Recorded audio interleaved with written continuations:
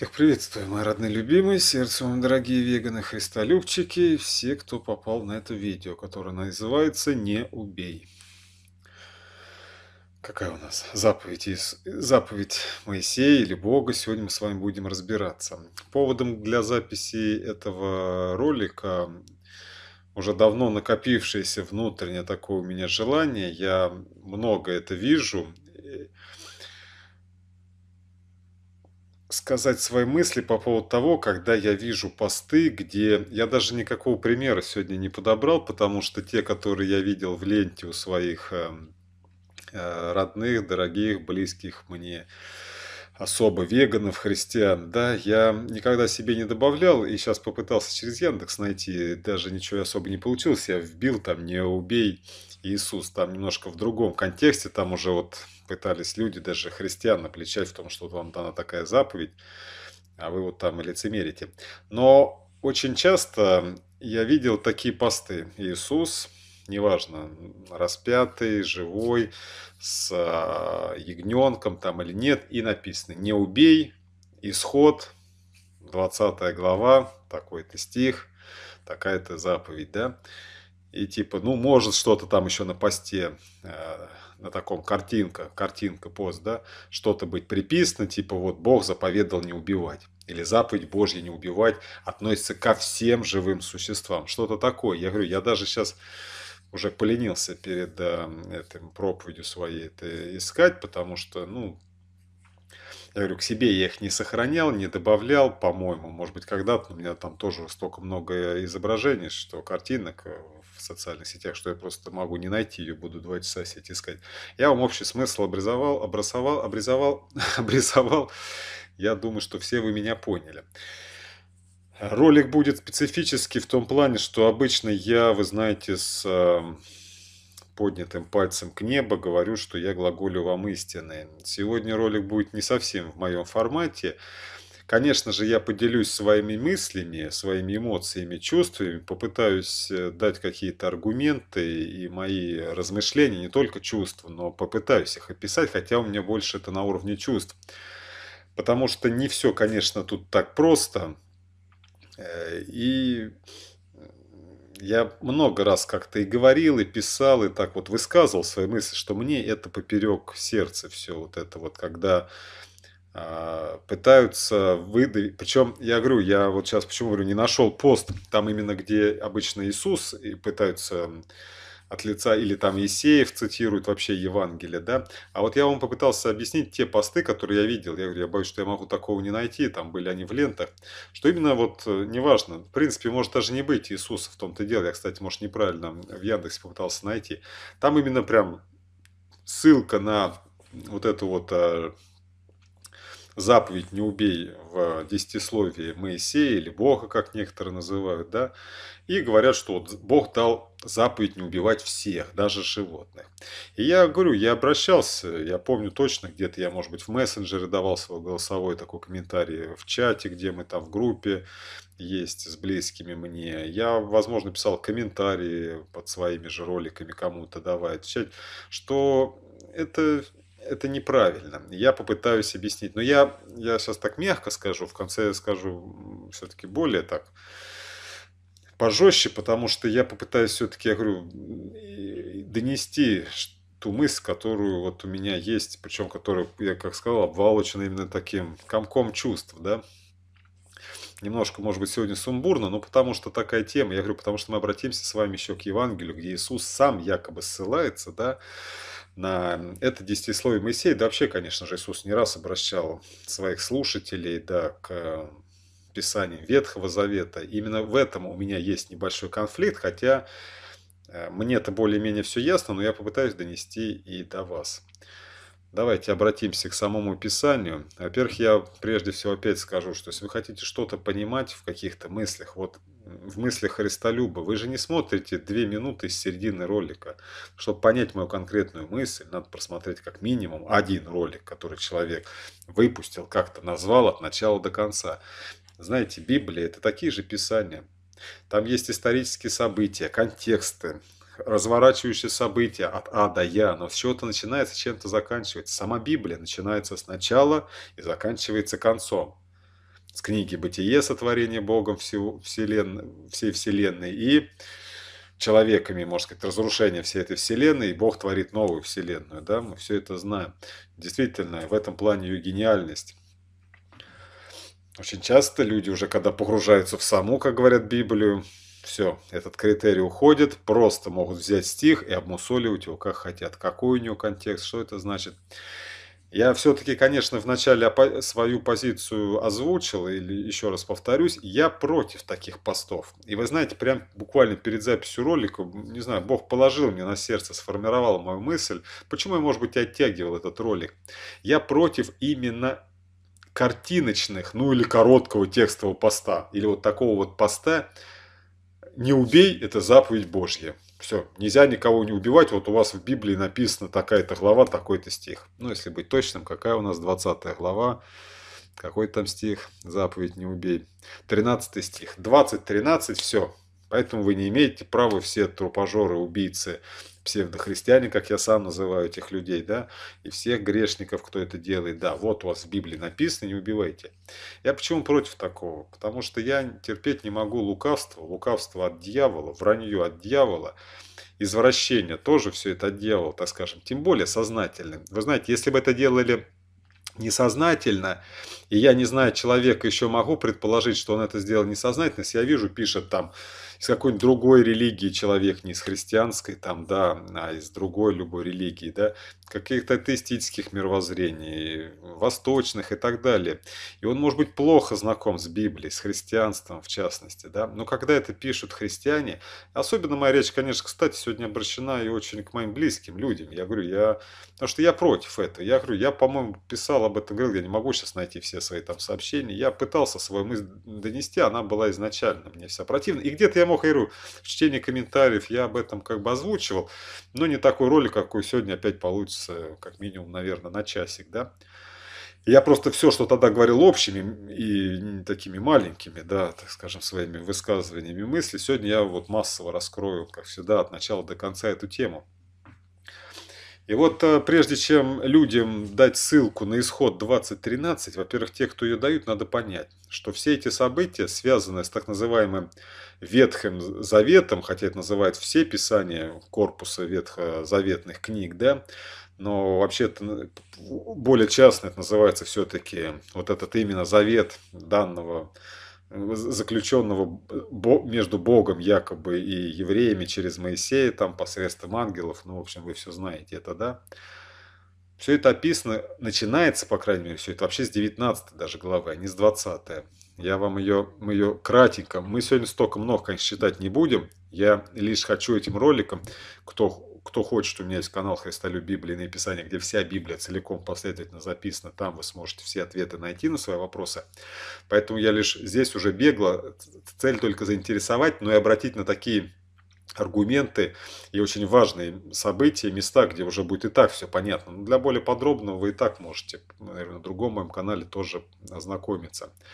И вот с 19 главы, прежде чем до 20 читать, именно здесь они шли по пустыне. Их Бог вывел что такое исход? Она так книга называется. Это когда Бог из рабства египетского вывел еврейский народ. И до 19 главы они идут, выводятся. Во-первых, вся жизнь Моисея описана в Египте. Я кратко расскажу, да, 19 глав. Потом Моисей якобы выводит, но Бог через Моисея этих еврейский народ из египетского рабства. Они по пустыне там 40 лет шатаются. Вот в эти 40 лет они в некой горы там останавливаются, да, и там все вот эти события, которые сейчас будем читать, и описываются. В третий месяц по исходе сынов Израиля земли египетской, вся, в самый день новолуния пришли они в пустыню Синайскую, поэтому гора называется Синай. И двинулись они из Рефина, и пришли в пустыню Синайскую, расположились там станом в пустыне, расположились там Израиль станом против горы. Моисей зашел к Богу на гору и возвал к нему Господь с горы, говоря. И начинается сначала 19 глава, назовем ее прелюдией такой. Я говорю, кто хочет более подробно познакомиться, обратитесь на мой мой канал Христолюб Библии Писание. Ну, правда, опять же, не к исходу, уж начните Библию целиком вместе со мной читать, смотреть и слушать. Доберетесь, потерпите и до этого момента. 19 глава водная. Бог, ну я своими словами, хотя, может быть, я говорю быстрее всегда прочитать, но я скажу, Бог Моисею спрашивает, вообще поди у народа разберись и спроси у него, я им вообще нужен, будут ли они исполнять то, что я от них потребую. Бог что ничего не говорит, что потребую. Говорит, они будут слушаться. Это же я их вывел, спас из Египта. Но я вам всегда буду концы глав зачитывать и начало. И сошел Моисей к народу и пересказал ему. Вот все, о чем он беседовал с Богом. И начинается 20 глава. Заповеди мы прочтем все, хоть и быстренько так. «Извлек Бог Моисея все слова эти, говоря, «Я Господь Бог твой», который... Вы поймете, почему это важно. Девять заповедей Моисея, как их называю, потому что первая и вторая – это и есть одна заповедь.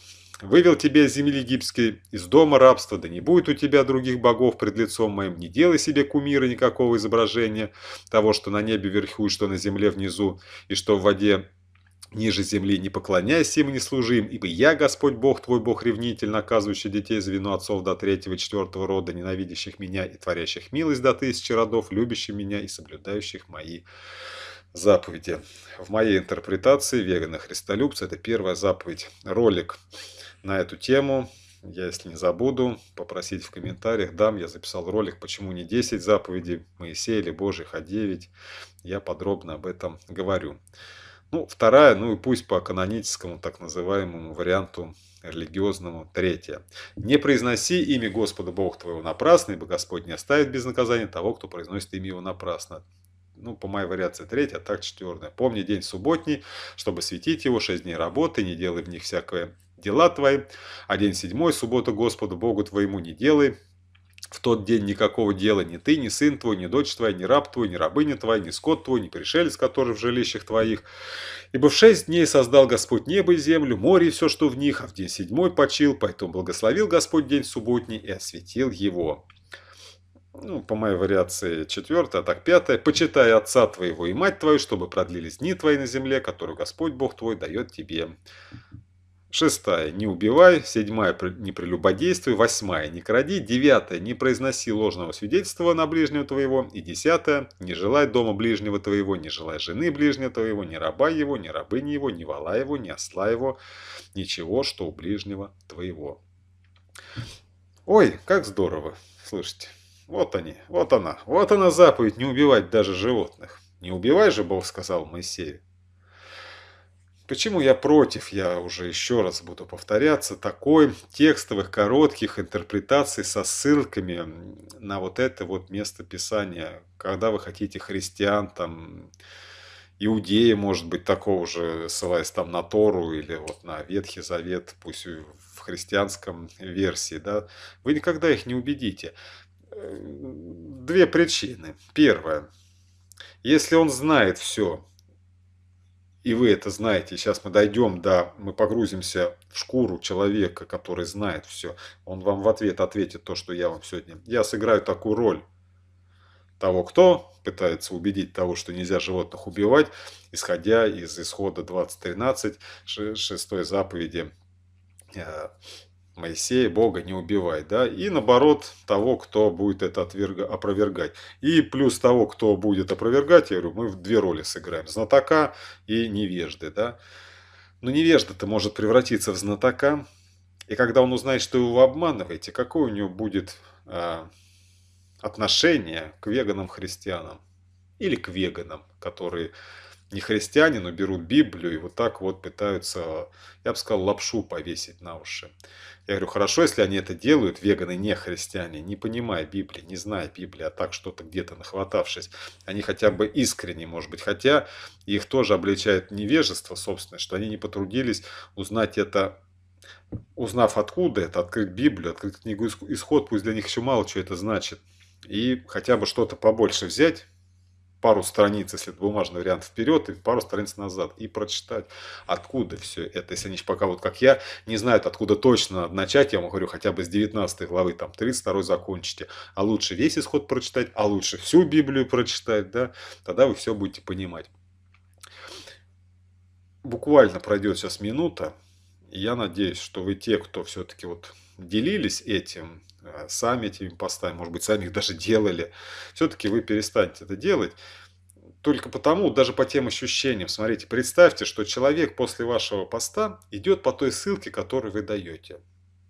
Вот я сейчас имитирую, играю роль этого человека, роль этого невежды, или роль вежды, который вам тут же ответит, как отвечаю сейчас я вам. Продолжаем читать книгу «Исход». Весь народ видел грома и пламя, и звук трубный, и гору дымящуюся, и увидев то, весь народ отступил и стал вдали. И сказал Моисею, говори ты с нами, и мы будем слушать, и чтобы не говорил с нами Бог, дабы нам не умереть. И тут выходит Моисей. И сказал Моисей народу, не бойтесь, Бог к вам пришел, чтобы испытать вас, и чтобы страх его был пред лицом вашим, дабы вы не грешили. И стоял весь народ вдали, а Моисей вступил во мрак, где Бог. И тут еще раз я вас акцентирую, еще раз погружаемся в то, что вы создали или поделились, или создали и поделились постом, где дали ссылку на исход 20 13, шестую заповедь Бога Моисея, как хотите, тут я через дефис говорю, ну, в тек, через слэш, в тексте это невоз... в звуке это невозможно изобразить, кто как почитает, и вы пытаетесь убедить религиозников, христиан, иудеев, там не знаю кого, тех же самых мусульман, может быть, просто атеистов, что вот есть такая десятисловие. У нас каждый второй верит там во что-то, да, в Бога в какого-то многие признают разные писания. И ты скажешь, вот, в священном, вашем же священном писании 20.13, заповедь не убей. Понятно, что Бог говорил обо всех живых существах. Невежда, читающий следующие стихи, познает, что вы просто пытались его обмануть. Вежда приведет вам все то, что я буду тоже дальше приводить. Читаем с 22 стиха. Прошло всего 10 стихов. 13 и 23, грубо говоря, 24 уже разрушит то, что вы пытались построить. И сказал Господь Моисею, заметьте, вам человек скажет, это Бог сказал. Ты вот мне говоришь, это ты вложил такой извращенный смысл.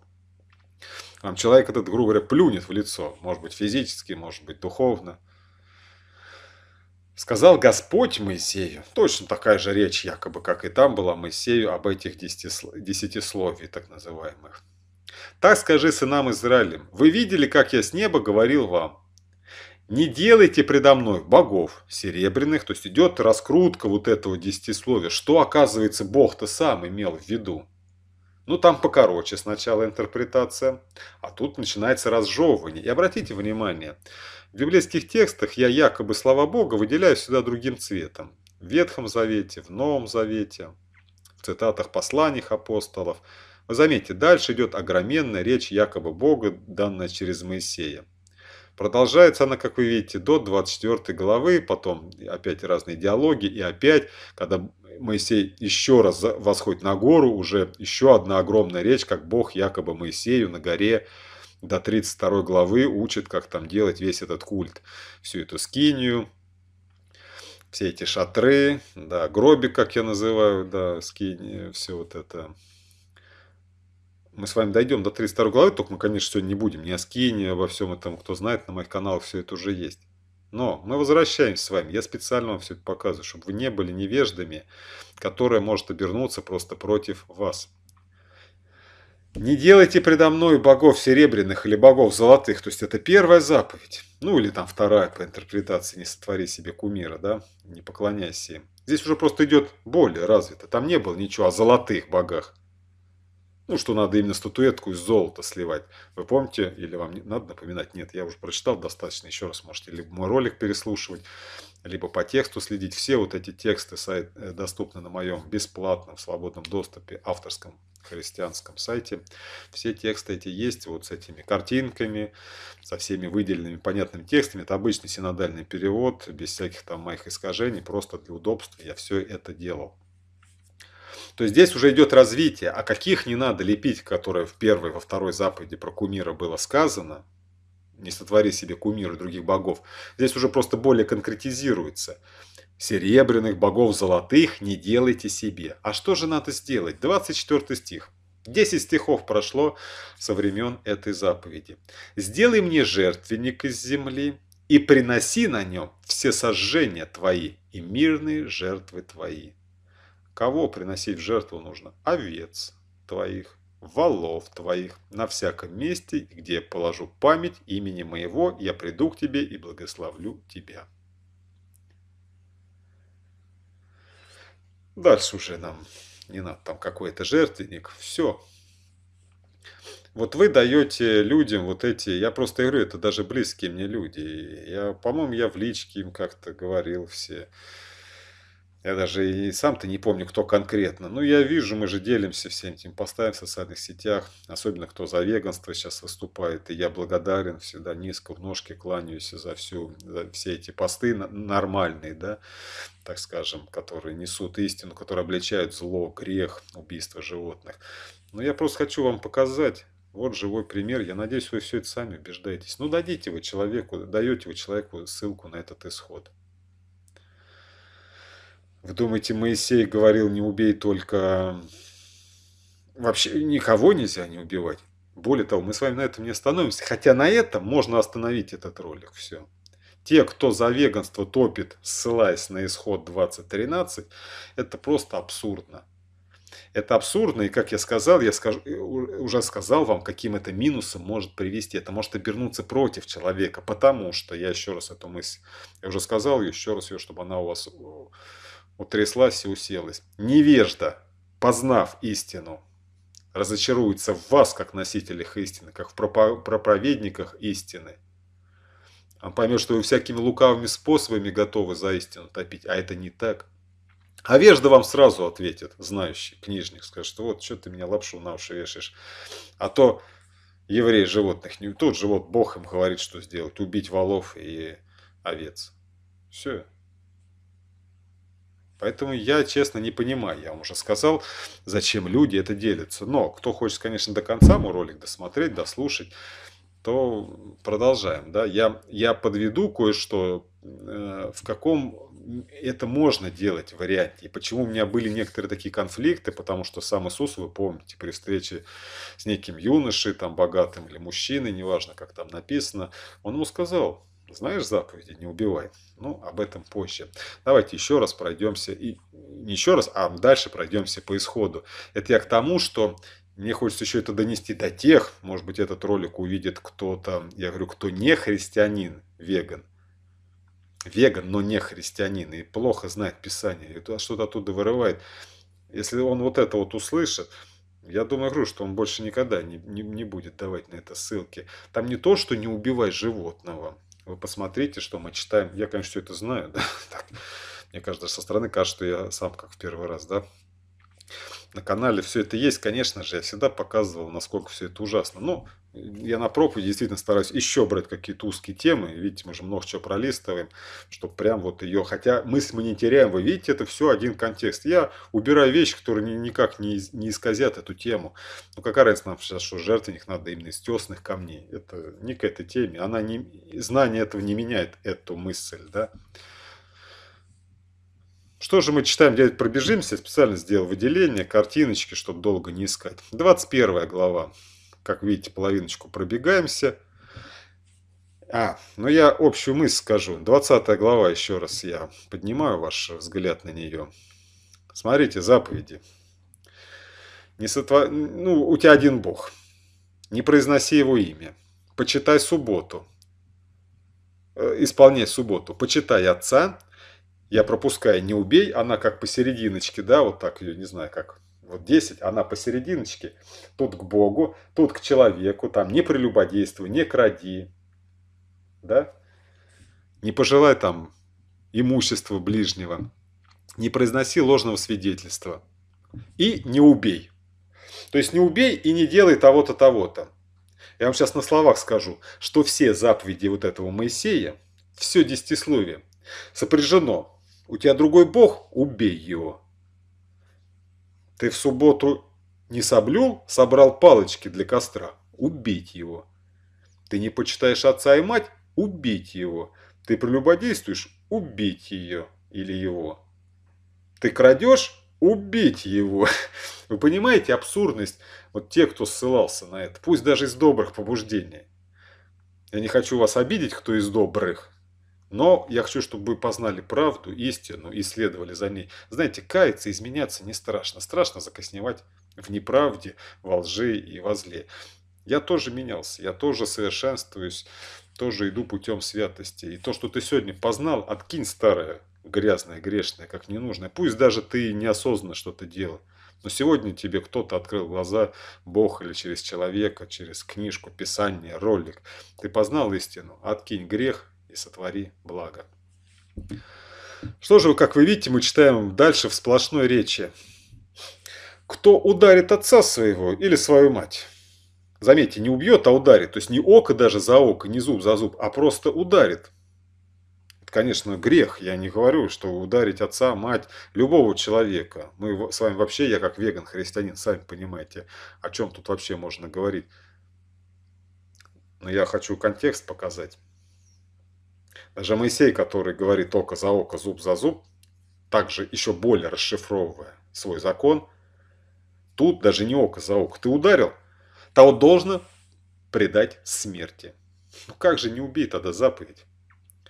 То есть не убей, оказывается, это какой-то была общая фраза, выброшенная в толпу. А что потом в это не убей вложить? Это оказывается не убей кого? Праведника там якобы, только они также и праведников убивали. Они Моисея каждый раз пытались побить камнями, хотя якобы он праведник среди них. Кто украдет человека и продаст его, или найдется он в руках у него, то должен предать смерти рабство, насильственное вот это рабство, киднеппинг, кто знает, есть такое слово, там детей похищают, да, с целью выкупа или рабства. Это страшно, я не спорю. Я просто хочу, я сейчас, я надеюсь, я просто понимаете, а то я что-то начинаю оправдываться. Я не говорю, что это нужно делать и что это добро, это зло самое настоящее. Но я хочу сказать веганам, которые христиане ссылаются на исход 20.13, на неубийство, якобы Бог дал животных, если тут же мы читаем, что оказывается можно убивать даже людей.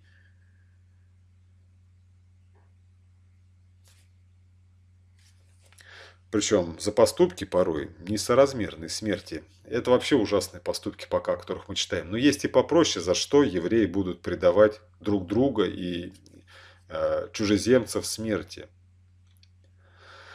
Кто злословит отца свою мать, уже не бьет. Позлословил, да, нехорошо. Никого вообще злословить нельзя, никого. Злое слово специально, да, язвить человека, того должно предать смерть. То есть, оказывается, заповедь «не убей» и перед ней, который идет «почитай отца», оказывается, почитать надо так, что тебя, если что, следующая заповедь просто отменяется –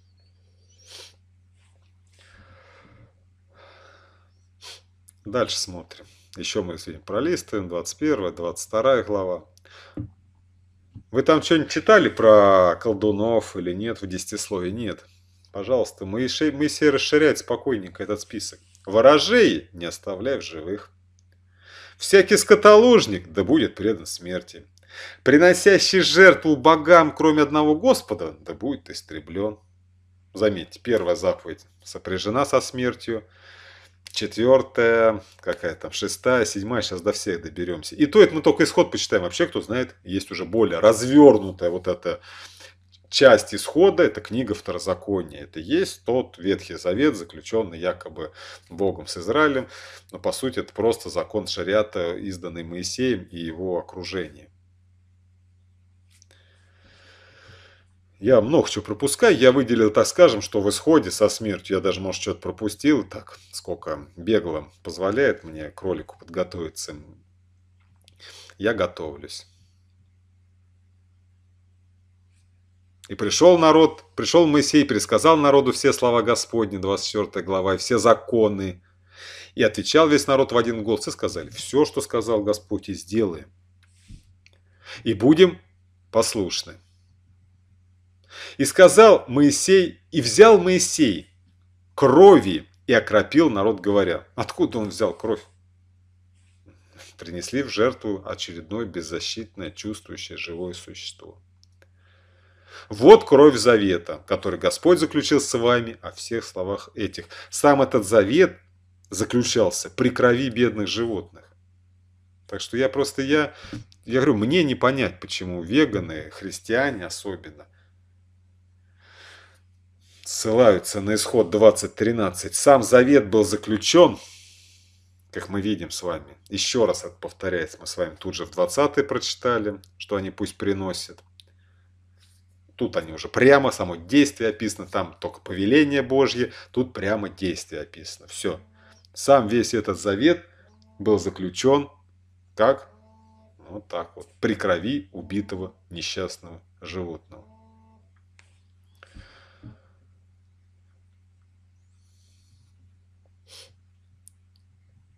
Дальше.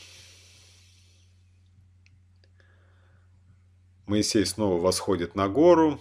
Опять длинные речи. Все это мы с вами пропускаем. Тут уже, конечно, все чисто о культе, кто знает из 24 по 32 главу. Как там скинию, шатер, все это делать, курение, там все эти лампадки. На этом все, в общем-то, и заканчивается. Да. И когда э, Бог перестал говорить с Моисеем на горе Синай, дал ему две скрижали, откровения скрижали камень, на которых написано было перстом Божьим. Если вы откроете книгу Второзакония, там вы уже соберете все оставшееся. Там не только ворожей, там уже из-за прелюбодействия, естественно, о чем и было, и здесь не было сказано. То есть там все это раскрыто уже полностью под ключ. Да. Ну, вот у вас после этого осталось все желание у веганов, христиан делиться проповедью, так скажем, веганства посредством ссылки на исход 2013. Я никогда не делал этого, никогда не делился этими постами, даже их не лайкал. Вот. Ну, может быть, грешок быть в общей ленте, я там мог случайно. Или там, я говорю, там очень по-разному есть посты. Где-то пытаются вот показать, что даже Иисуса, я говорю, изображают какое-нибудь изображение. И больше на Исеев ссылаются редко, где Иисуса с исходом. Бывает, ну да, картинка может быть Иисуса, и вот этот исход, и запись о том, что, и как бы надпись, там, если краткая цитата есть на посте, что или под постом, или тексты, что вот Бог типа дал вам не убивай, и здесь имел в виду всех животных. Как же он имел в виду всех животных, если мы через 4 стиха, или сколько там прочитали, через 10 стихов прочитали уже, что повеление Бога приносить, убивать животных и приносить их в жертву, и они так и делают. Прямой результат описан, где Масей, они там-то все делают, тысячами их убивают. Ну и прямо описано, как заключается завет, что именно кровью этих животных они все еще окропляются. Что эта кровь дает? Она что, скрепляет человека и Бога? А что, слов недостаточно было? В чем виноваты беззащитные животные? Или как она может помочь исполнению даже этих заповедей Моисея? Ника? Это безумные люди. Какой у меня на этом все, я надеюсь, да? Переходим к другой части. И поэтому я не знаю. Вы вот делитесь, я такие не, не, не лайкаю, не пощу. Может, где-то был грешок, но, наверное, больше на автомате это как-то было, потому что я действительно могу в ленте так как-то это кликнуть. Ну, я не помню, чтобы я вот конкретно, где исход выдают, где Иисус там изображен, где из Есеев, которые не признаны Евангелием там каноническим, да, оттуда, если я такие еще могу, да, а, потому что я сам к этому отношусь положительно, так скажем. А вот когда на исход ссылается, не знаю, вряд ли у меня есть там хоть один этот пост в копилочке, так скажем, ВКонтакте, где в альбоме этих э, под названием «Вега». Я говорю, справедливости ради, я сам себя, так скажем, не представляю, хочу вам разобраться, да. Евангелие от Марка, ну, 10 глава, то же самое есть в Матфея, в Луке описаны эти события. Давайте прям прочитаем. Когда, тут, тут же коротко. Когда он выходил в путь, побежал некто, пал пред Иисусом на колени и спросил его, «Учитель благой, что мне делать, чтобы наследовать жизнь вечную?» Немножко совсем отличается в Матфее, Марка и Луке. Там несущественные различия, они ничего нам сегодня к этой теме не дадут, к тому вопросу, который я поднял, так скажем, и ответ, который даю.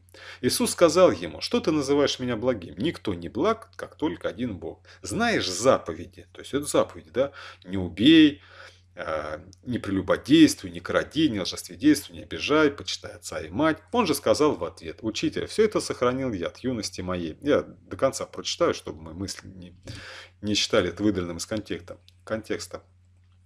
Иисус, взглянув на него, полюбил его и сказал ему, одного тебе не достает. Ну, в других Евангелиях, если хочешь быть совершенным, если хочешь стать совершенным, пойди все, что имеешь, продай и раздай нищим, и будешь иметь сокровища на небесах. И приходи, последуй за мною, взяв крест. Он же, смутившись от этого слова, отошел с печалью, потому что у него было большое имение. Всем известный случай, кому нет, я говорю, может быть, меня слушает просто какой-нибудь веган, не христианин. Казалось бы, Иисус ссылается на... Хотя он не говорит, исполняешь заповеди Моисея, вот именно, даже заповеди Божьи. Может быть, нам что-то умалчено. Евангелие писалось учениками и непрямыми даже учениками Иисуса по памяти. Он сам ничего не написал, не позволял за собой стенографировать. Вот это все, что когда я говорю, это же тоже очень важно. Я же не просто так для сладкого словца это говорю. Очень важно знать просто евангельскую историю, благодаря всем хотя бы четырем Евангелиям, может быть, не каноническим каким-то вещам, апокрифам. Вы мне скажете, ну вот же он сослался. Я, не говорю, меня Бог на сердце прям удивительно, как всегда. Ну, не, не удивительно, что так постоянно бывает, но в очередной раз радуюсь таким откровением Божьим. Дал мне четкое утверждение, что я хочу донести. Я говорю, почему я не согласен именно. Почему меня текстовые, я вот картиночные вот эти э, и, и короткие текстовые, когда там, если было, добавлено просто картинки, или картинка дублировала текст, текст картинку, когда просто вот так на исход коротко, и мысли влагали даже там одно предложение, что вот, типа, в Библии, в вашем Святом Писании написано, исполняете, да. Вот. То ли, говорю, невеждами, то ли маловеждами, то ли, не знаю, с какой-то целью. Человек вообще, вот как я, все понимает, откуда это взято. Ну как же Иисус относился к Ветхому Завету? Конечно, это отдельная тема, которая у меня раскрыта на канале Христолюб Библейные Писания. У меня там есть ролики Иисуса о Ветхом Завете. Я изо всех Евангелий собираю все эти места, как показать, что Иисус никогда не был ни иудеем, ни фарисеем, ни книжником. Он никогда не был исполнителем закона Моисея. Он никогда его не исполнял, никогда его не проповедовал. Я все это всегда, естественно, при чтении самого Евангелия. Все это показываю. Здесь вот вырви из контекста даже это одно событие с этим богатым юношей. Можно сюда впихнуть все, что угодно. Мы прекрасно знаем Нагорную проповедь. Ведь Моисей же, говоря все это, я говорю, это же он говорит око за око, зуб за зуб. Он же только что приносил их в жертву. Он только что говорил, что прелюбодейную женщину побейте камнями, да. Ну, око за око в другом месте, это в книге Второзакония все еще больше разжевывается, да. А что говорит Иисус в Нагорной проповеди? Вы слышали, что сказано око за око, зуб за зуб? А я говорю вам, не протився злому. Иисус дает ровно противоположные заповеди. Но кто ударит тебя в правую щеку твою, обрати к нему и другую, и кто захочет судиться с тобой, взять у тебя рубашку, отдай ему и верхнюю одежду, и кто принудит тебя идти с ним одно поприще, иди с ним два, просящему тебя дай, и от хотящего занять у тебя не отвращайся. Дальше Иисус еще величественнее говорит, вы слышали, что сказано, люби ближнего твоего. Это все во второзаконии, говорю, которую мы сегодня с вами, конечно, не читали, это огромная книга, она есть у меня отдельно на канале, вы можете все это обратиться. И ненавидь врага твоего, а я говорю вам противоположную вещь, ненавидеть и любить, это противоположное. Мне сколько только, я их называю иудействующими христианами, не пытаются доказать, что Ветхий Завет и Новый, это чуть ли не одно и то же, или это продолжение, а вот Ветхий это ступеньки там, создает противоположные вещи. Любить и ненавидеть – это противоположные вещи. Это не ступеньки. Это противоположные вещи. А я говорю вам, любите врагов ваших, благословляйте проклинающих вас, благотворите ненавидящим вас, и молитесь за обижающих вас и гонящих вас. Да будете сынами Отца вашего Небесного, ибо Он повелевает солнцу своим восходить над злыми и добрыми, посылает дождь на праведных и неправедных, ибо если вы будете любить любящих вас, какая вам награда? Не то же делают и мытари, если вы приветствуете только братьев ваших, что особенного делаете? Не так же ли поступают и язычники? Итак, будьте совершенны, как совершенен Отец ваш небесный. А когда к Иисусу приводит, ладно, я уже не буду вам по тексту, все буду своими словами. Когда к Иисусу приводит женщину, взятую в прелюбодеянии, где ни Иисус не пытался отрицать ее грех, более того, он сам признал, что она это делала. Да? Ему так и сказали. Да хотя давайте откроем, это же недолго, да. Евангелие от какая у нас, восьмая глава. Меня просто интернет не очень, но я думаю.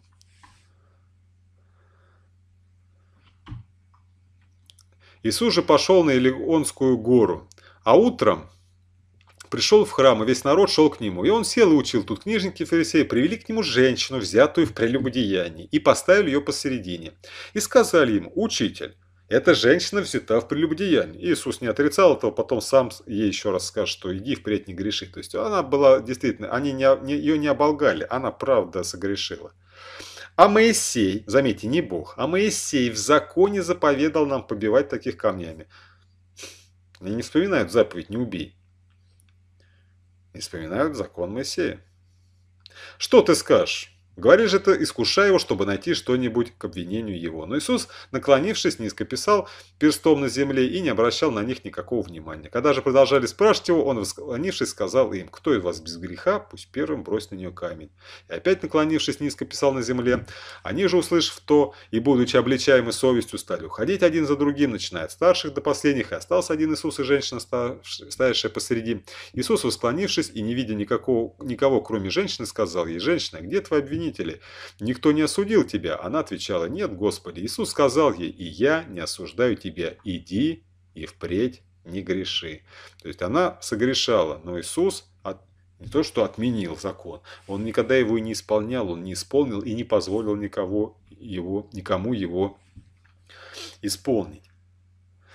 Так что же, когда Иисус перечислял, я просто к чему все это вам два примера всего вспомнил из Евангелия, из Нагорной проповеди, слова Иисуса, реальное дело Иисуса с этой женщиной, взятой в прелюбодеянии.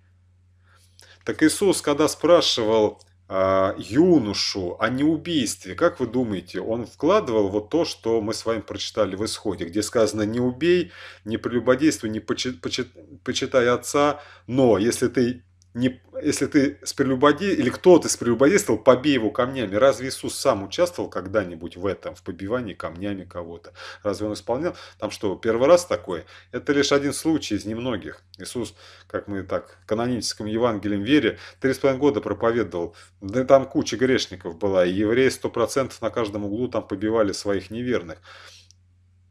Иисус ни в чем этом никогда не участвовал. Иисус никогда никаких жертв не приносил. Он всех животных из храма все время спасал и выталкивал. Вот это, что есть, то есть.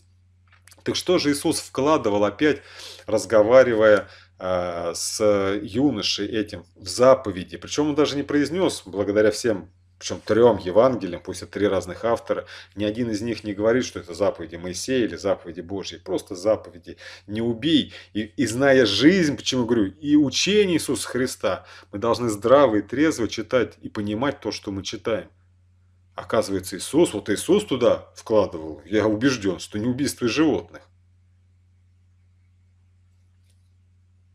Иисус, причем ему перечел добродетель, так их назовем, хотя, как Иисус сказал, того, что вы перестали творить зло, вы еще ничего великого не сделали.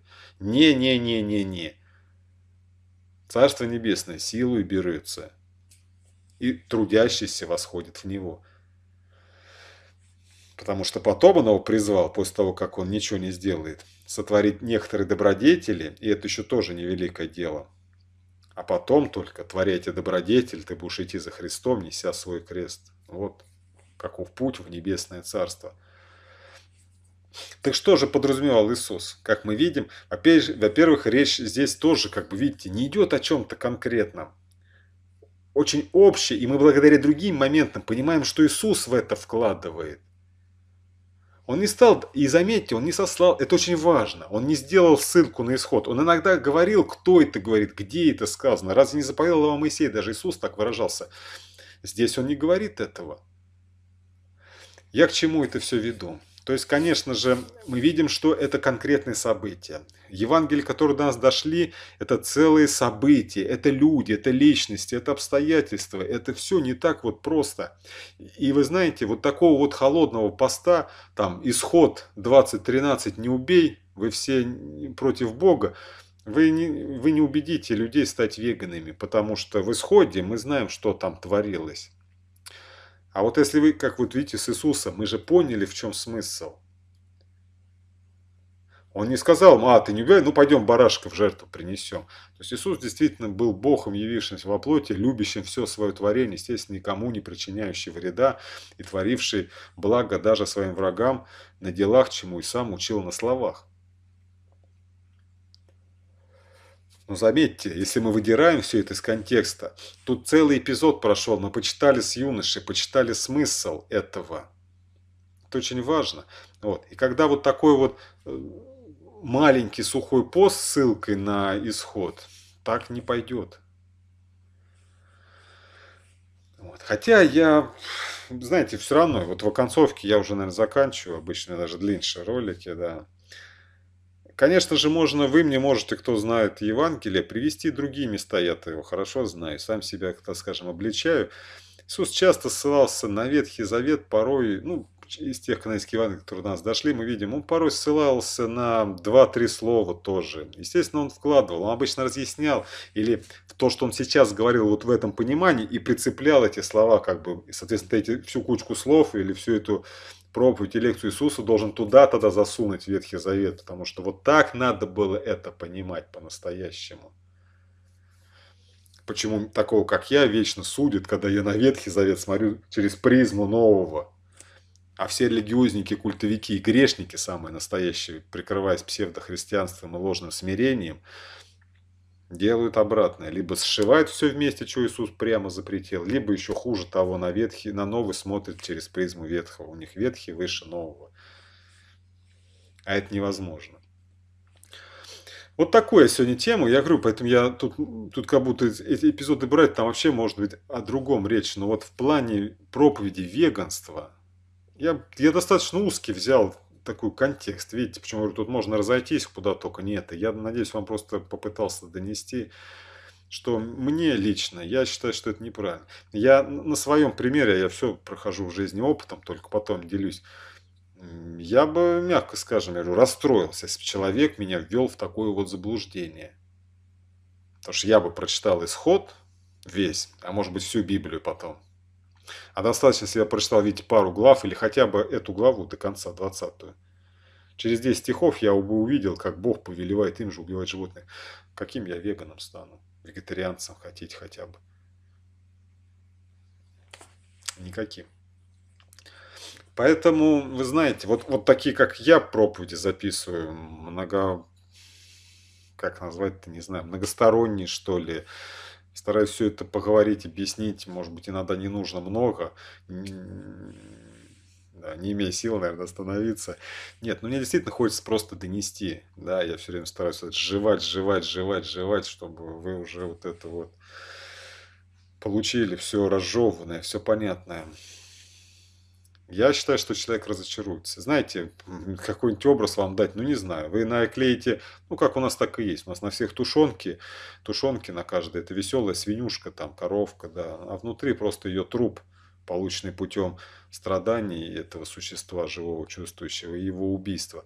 Здесь то же самое, знаете, это все немножко сделать красивую картинку кролика, а там скотобойни, да. Здесь то же самое. Вы скажете, вот в исходе якобы Бог сказал, и тут же мы читаем, что вроде бы этот же Бог Моисею говорит, что и убивай их. Да а что там убивать-то животных? Ты он читает, да тут и людей-то не щадят, всех грешников, язычников, так там вообще детей убивают, стариков, все это, а камни разбивают, младенцев, в прямом смысле слова, да? Да у человека волосы встанут даже там, где их никогда не было. Неужели вот вы этого просто не видите? Ветхий Завет это очень, э, казалось бы, хочется сказать, хотя бы это там, да, ладно, там Иисус Иудеям говорил, я понимаю, вы тоже пытаетесь христиан, э, да, христианам открыть глаза истину, они, по идее, получается, Ветхий Завет, Библия, это их книга, да, тоже. Ну, не работает это так. И мы видим, что у Иисуса это не просто так, это нам как-то еще подали, насколько были пространные вещи. Да, этот юноша отошел, но что Иисус даже потом, может быть, опять сказал своим ученикам, толпе, народу, что говорил в других местах, да, уж не говоря о том, что Евангелие до нас тоже дошло, мягко скажем, не в идеальном виде. Вот. Так что вот так вот. Ну, надеюсь, я вам показал, да, то есть э, надо как-то... Мне вот прям, когда я просто вот концентрирую мысль последний раз, когда я вижу исход 20.13, не убей, и что это якобы откуда они берут по Писанию, это там Бог сказал евреям не убивать вообще никого, то я вам уже сказал, я не понимаю. Человек либо не знает вообще Писания, либо знает того хуже. Ну, в смысле, среднячок, он что-то знает, что-то не знает, хотя те, кто меня слушает, вроде уже, ну, кто-то поздно подключился, я говорю, всю Библию еще кто-то сейчас смотрит, как ролики выходят, там, пророков. Ну, тогда оставьте пока этот вопрос. Библию сначала со мной посмотрите, Бытие, Исход. Я вам от чистого сердца советую. Много чего постов можно как угодно. А вообще в веганстве надо, в вегетарианстве, в любви к животным. Людям вообще ссылаться на Библию не надо. Это грех убийства. У человека для познания этого греха есть глаза, уши, нос и рот. И ручки тактильные.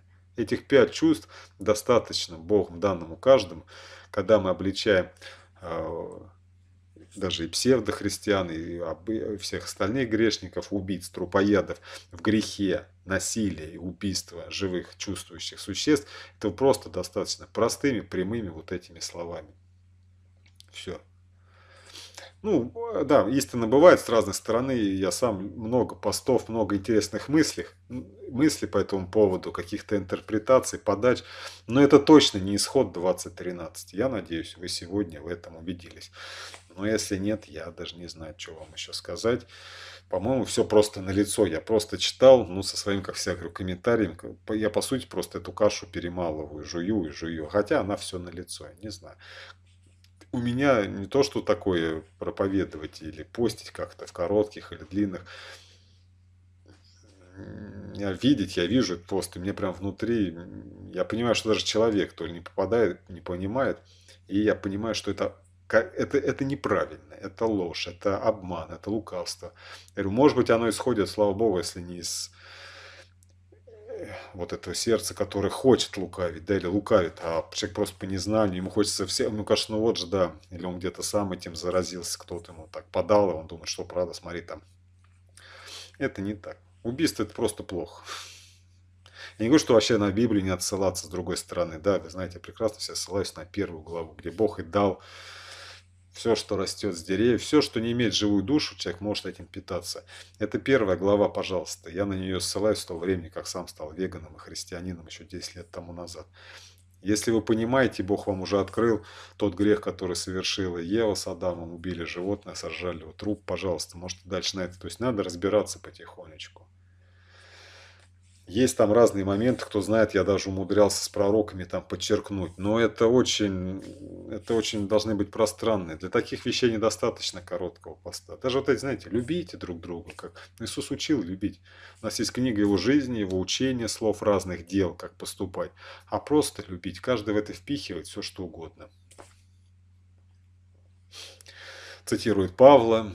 Нет, и да, если я все пророчества знаю, все чудеса могу творить и люби не имею, нет мне в той никакой пользы, давайте всех любить, всех грешников по головке гладить. Только вырывает это из послания Павла к Каринской церкви, где он в каждой главе по разной теме обличает грешников своей собственной церкви, которые уже грешат, причем грешат по-страшному, что на словах уже говорят, что никакого воскресения вообще не было, ни Иисуса, и никто никогда не воскреснет, что на делах прелюбодействуют, крадут друг у друга сами, да, рвут друг друга на куски, можно сказать.